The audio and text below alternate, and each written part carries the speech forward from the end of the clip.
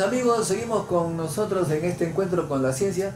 Vamos a, presentar, un, vamos a, él mismo se va a presentar ahora, cambia la cosa.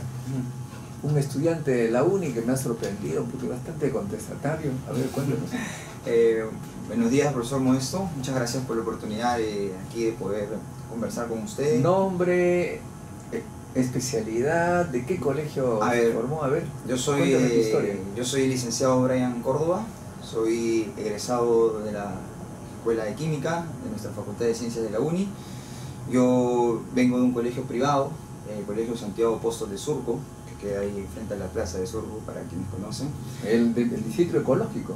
Eh, bueno, gracias a los alcaldes que hemos tenido, es un distrito que ha avanzado mucho en lo, que es, científico. en lo que ha avanzado mucho el reciclaje que es algo que, lamentablemente aquí en nuestro país no se tiene muy en cuenta, pero que el Distrito de Surco sí ha tenido en cuenta, el reciclaje de la basura, el recojo selectivo, entonces bajo ese contexto es algo muy, muy positivo. Acá con el ingeniero Sarmiento le preguntaba, ¿en qué momento se decidió por la ingeniería mecánica?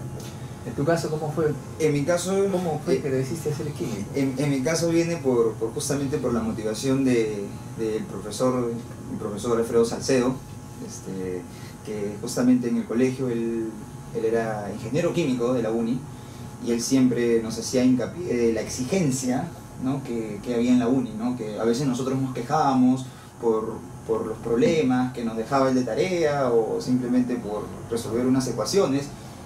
no, pero antes de entrar a la uni, ¿quién te decidió? justamente ahí viene la motivación de este profesor que ante nosotros a veces la negativa de querer hacer algunos problemas, ejercicios, él nos decía, ¿no? Pero ustedes, se pueden.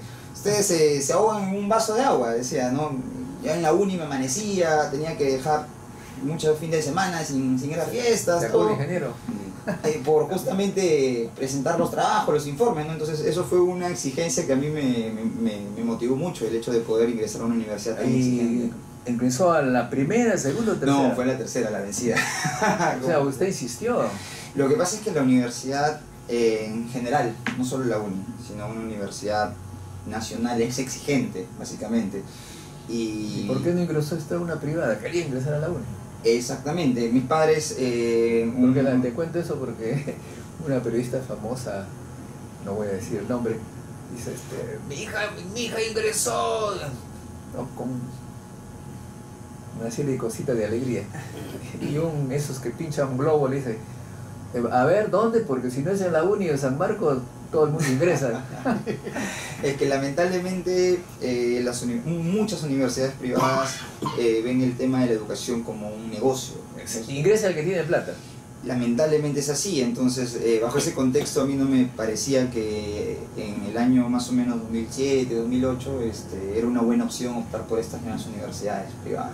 Ahora, tú eres ambicioso porque además estás haciendo un doctorado en química. No, todavía no, todavía. estoy ahorita haciendo la maestría eh, en lo que es el programa de becas del Fondesit. Eh, hoy en día en nuestro país existe mucho apoyo por parte de lo que es el Estado para hacer lo que son proyectos de investigación, estadías en países del extranjero y justamente el poder hacer maestrías y doctorados tanto dentro como fuera del país. Yo estoy ahorita en el programa de maestría de la Escuela de Química de la Facultad de Ciencias, pero ya termino este año, bueno, ya este, en marzo debo estar sustentando, pero de ahí justamente ya tengo planes de poder irme Ahora, tú has estado con una experiencia, has estado profesor, imagínese, ha ido a, a Europa a darse una vuelta a un laboratorio y ha venido con buenas novedades. ¿Cuál es la experiencia y qué cosa de diferencia hay entre ellos y nosotros? El detalle está en que yo estuve en la NTNU, NTNU, la Norwegian Technology University of Science, y es una universidad eh, donde justamente tiene muy desarrollado el, el, tema que yo vengo trabajando, que es el de biopolímeros. Y he aprendido mucho en lo que es el tema de caracterización y aplicación de estos biomateriales. Lamentablemente por el presupuesto que requiere comprar equipos como los equipos de resonancia magnética o un cromatógrafo como el SexMals que vale aproximadamente 2 millones de dólares, eh, no, no, no, podemos nosotros desarrollar nuestra línea. En Mientras haya corrupción y la gente se lleve la plata de esa manera, efectivamente no vamos a tener. Es muy complicado poder acceder a este tipo de, de equipos que, que, bordean el millón, millón y medio de dólares y que lamentablemente nuestra universidad... Y en lo que respecta al conocimiento no creo que se vea la diferencia, todos son iguales, ¿no? Por lo, menos es lo que he visto. Justamente el, hace tres días, cuatro días, como usted comentó, profesor, el profesor Sarmiento, hubo lo que es la acreditación ABEC y justamente en el conversatorio que hubo con, la, con lo que es la acreditadora yo hice hincapié, ¿no? de que una de las cosas que más se rescata de la formación que tenemos en la uni es que cuando nosotros los estudiantes vamos al exterior estamos a la altura, ¿no? porque tenemos una base muy sólida en lo que es matemáticas, en lo que es física, que nos permite a nosotros poder este, estar a la altura de otros estudiantes formados en otros países. Sí, sí, eso, eso he notado allá, muchos estudiantes que son de igual a igual y a veces sorprenden con su razonamientos y sus descubrimientos. Exacto, ¿no? el detalle está en que justamente uno tiene que ver las, las oportunidades, ¿no? buscar las oportunidades, porque como dicen, el tren pasa una vez y si no lo aprovechas, si no te subes, el tren se pasó. Y... Ahora, cuando tú hablas de biopolímeros, eh, un poco que me está haciendo, dando la vuelta a la cabeza esto de la idea de, de los vasos reciclables. Acabo de ver que hay ahora vasos donde uno toma su café y después de tomar el café se come el vaso. La idea actualmente viene por el problema que generan los plásticos. Eh, el detalle está... a decir, cuando voy a Canta veo el río lleno de plástico, una cosa horrible. Justamente el problema que ocasiona el PET, el tetraestalato de poliestireno. Ese, Pero, eh, dicho de paso, eh, ¿nos hace daño eso, ese plástico, cuando tomamos...? Eh, justamente hay, hay, estudios que ya han demostrado que incluso las mismas botellas de plástico del agua cielo o de, cualquier, exactamente van, van liberando microplásticos microplásticos que uno toma y, justamente se, uno quiere tomar agua buena y se está envenenando. Es, es mejor tomar en un vaso de vidrio porque justamente el detalle está en que estos microplásticos se, se van liberando en base a qué a la temperatura y básicamente a la luz, justamente degrada el plástico. Entonces, cuando uno deja un vaso de agua o estas botellas de, de, estas aguas que venden expuestas a la luz, al sol, justamente lo que hacen ahí el, la luz solar es de alguna manera de degradar ese plástico y ese microplástico justamente se disuelve en el agua y es lo que nosotros ingerimos. Dicen, ingeniero, usted sabe que a veces cuando uno toma un pescado dice que un montón de plástico adentro ahora ya se ha visto ya las ballenas, los plásticos. Hay estudios aquí en el, eh, que, ha, que, ha, hecho la Universidad Científica, que es del, del área de, que estudian este, ictiología, donde han estudiado peces y se han encontrado plásticos, ¿no? Entonces, realmente ese es un problema que no estamos ajenos. Entonces, tú estás investigando ese tipo de problemas. Yo estoy netamente ahorita abocado a lo que es la, la modificación química realmente de los biopolímeros. Para tener clara la idea, un biopolímero es un polímero que se obtiene de una fuente natural. Cuando nosotros hablamos de polímeros, lo que automáticamente se nos viene a la mente son plásticos, básicamente. Y es que los polímeros son materiales sintéticos. Los biopolímeros, a diferencia de los polímeros, tienen la ventaja de que se obtienen de fuentes naturales, como las algas. Por ejemplo, la celulosa es un biopolímero, el almidón. Ah, yo, por ejemplo, trabajo con el, quitos, con el alginato que se extrae de las algas pardas. Entonces, los biopolímeros son polímeros que se obtienen de fuentes naturales. ¿Y cuál es la ventaja que tienen frente a los polímeros? Es que son biodegradables. Además de ello, son biocompatibles. Es decir, se pueden utilizar para aplicaciones biológicas. Usted debe haber escuchado al día de ayer que ha salido ya ahora una noticia acerca de que ya las mujeres van a tomar ahora ya la pastilla anticonceptiva, pero solamente una el mes. Ya no va a ser diaria durante 21 días. Justamente eso a qué se debe?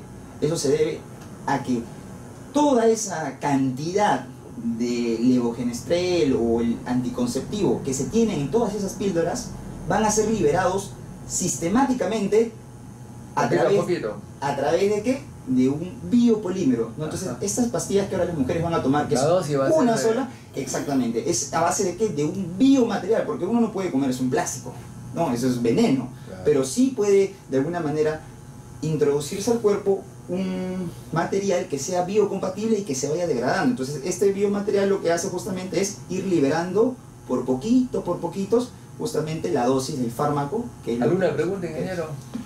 Sí, y yo leía eh, hace un tiempo que en la Universidad de Génova estaban desarrollando un biopolímero a partir de la cáscara del cacao.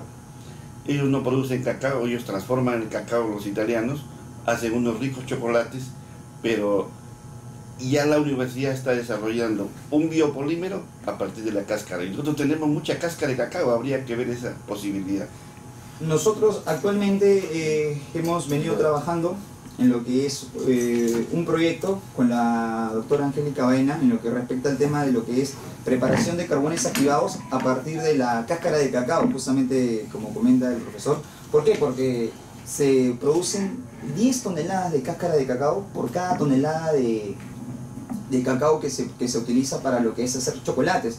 Entonces hay un gran problema con lo que son estos residuos de la cáscara. Entonces, como usted comenta, profesor, lo que han hecho esos italianos es tratar de aprovechar esos residuos y obtener, ¿qué cosa? Materiales. ¿Como cuáles? Por ejemplo, lo que usted está mencionando, me imagino debe ser la pectina que es un biopolímero del cual se obtiene justamente de la cáscara de las frutas. Y este biomaterial, la pectina, puede ser utilizado para la industria alimentaria como espesante o también puede ser aplicado para hacer, por ejemplo, lo que son membranas para tratamiento de aguas. ¿no? Son materiales que se pueden obtener a partir de residuos y tienen un valor agregado. El Perú lo que ahorita necesita es tratar de hacer eso. El problema de la basura, ¿cómo se podría solucionar? ¿Cómo es lo que está haciendo Surco? Hacer un recojo selectivo, no botar todo.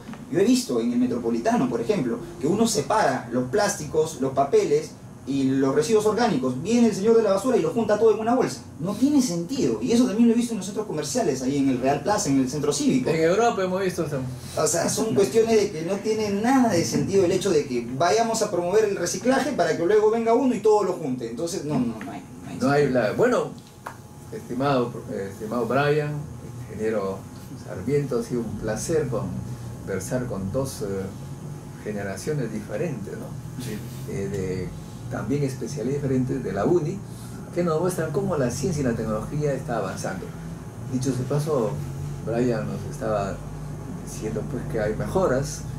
Hace unos 30 años que empezamos nosotros esta batalla luchando por la ciencia, propusimos un ministerio de ciencia y tecnología y una carrera del investigador, pero no nos hicieron caso en el Perú, porque luego de nuestros pedidos, Argentina en el 2007, Chile el año pasado y ayer Colombia acaban de crear su Ministerio de Ciencia y Tecnología con el objetivo, dicen, para generar conocimiento que mejore la vida de los nacionales de esos países. Desafortunadamente, en nuestro país, nuestros políticos están, y ya sabemos qué cosas. ¿Alguna reflexión, ingeniero? Bueno, la reflexión sería de que yo creo que pronto debe darse ese ministerio, porque necesitamos desarrollar, incrementar la... Tenemos el talento, nos faltan las realizaciones, y las realizaciones es dinero y es gestión. Habría que ver eso. Eh, está claro que un país sin educación nunca va a llegar a ser desarrollado. Entonces, si no partimos de ahí, de, la educación, que si bien es cierto se está apoyando mucho hoy día con los programas de becas que, ofrece Fondesit, incluso la misma universidad que ofrece para los estudiantes, pero si no viene un cambio desde arriba, desde nuestros gobernantes, para justamente poder tener, digamos, ¿no? un presupuesto que sea destinado netamente a lo que es las ciencias y la investigación, si no tenemos eso, va a ser muy difícil que nosotros como país podamos justamente hacer lo que hace Europa, lo que hace Asia. Muy bien. productos de valor agregado. Las generaciones de la UNI diferentes. ¿Ingresaste en qué año a la UNI? Yo soy código 2092. Ingresaste en 2092, 92. 1967, 1969. 1970. 69. Oye, ese número no se dice, ¿ah?